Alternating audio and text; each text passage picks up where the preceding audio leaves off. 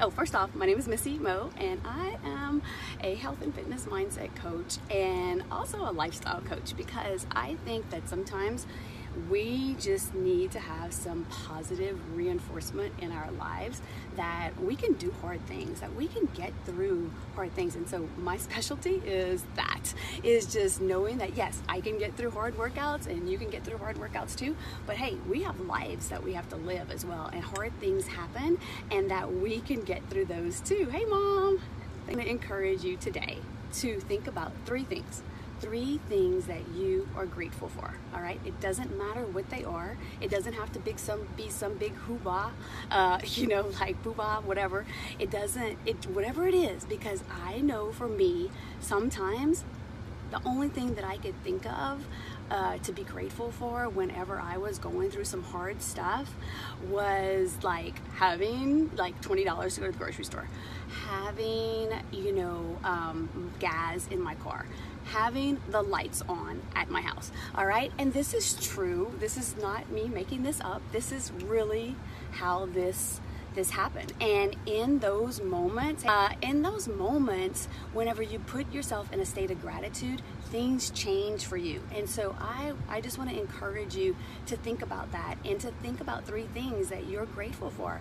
You know i am grateful right now that i'm getting to go in the middle of the day 11 o'clock in the morning to see my grandbaby violet and my daughter mackenzie. Um, and it's so cool. And it's like everybody told me that things would change and that whenever she would arrive, it would be awesome. And I was like so excited. And it's like so true. Like, so anytime anybody tells you that, just believe them. And I think Diane, you were one of them that told me like everything's gonna change whenever you have a grandbaby because you're gonna be driving and going do whatever, all these different things.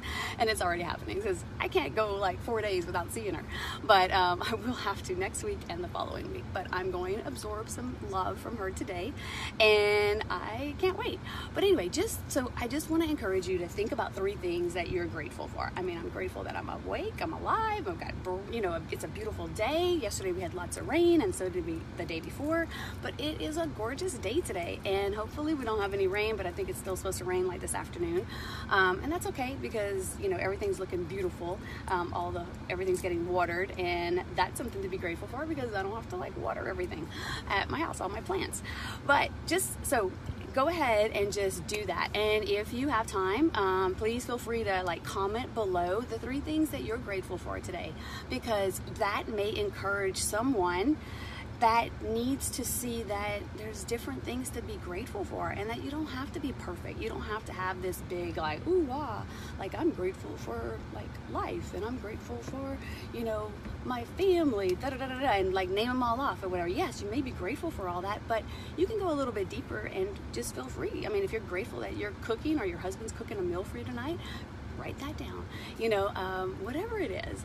And just know that you're to be okay. And sometimes, whenever you focus on the good things um, during a hard struggle, hey, Bon, just know that the hard times, sometimes you're to go through the hard times, but in the hard struggle, be I know it's hard to think about this, but you have to think about the positive and you have to just see, try to look for the silver lining because it's in those silver linings that you find your strength and your endurance and your wisdom and your ability to just cope with different things and also to help others because whenever you change your attitude by getting into a state of gratitude it's miracle a miracle happens and that is the most blessed thing in the world is that you just um, you know you just can everything just kind of becomes minimal like the hard stuff like the big stuff that's just like weighing on your shoulders whether it's financial stress whether it is you know maybe you have marriage stress maybe you have work stress whatever it is becomes kind of smaller and the stuff that you're grateful for becomes bigger. I just want to encourage you to do that because it's in those moments where you think about those things that you grow and you become a stronger person. And it's all about becoming a better version of yourself than you were yesterday. And if that can help you, I do this every day. And I even have an alarm set on my phone that reminds me at 10 o'clock in the morning like you know three things three things that you're grateful for. And because just in case i didn't do it first thing in the morning whenever i woke up and did my prayer and meditation which i normally always do but it's also a good thing to do is set an alarm on your phone. Use your technology uh, you know to, for a win and do that. Set it you know put a put a setting i mean um, an alarm on your phone and you, you can write in your uh, in what that alarm is about and you and i just have mine that says three things that you're grateful for today. And you can do it if you're going through a really hard struggle, you can do that in the morning and then you can do that in the afternoon because I promise you, sometimes I, I remember I'd have to, you know, get on, get on, get into that, you know, moment of gratitude to where I could deal with life and just see that, okay, everything's to be okay.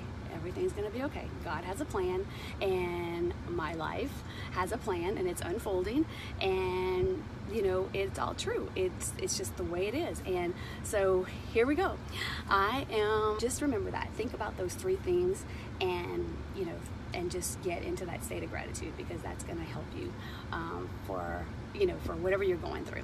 All right and it's just a great practice just to be thankful. Anyway so talk to y'all soon and love you guys. Bye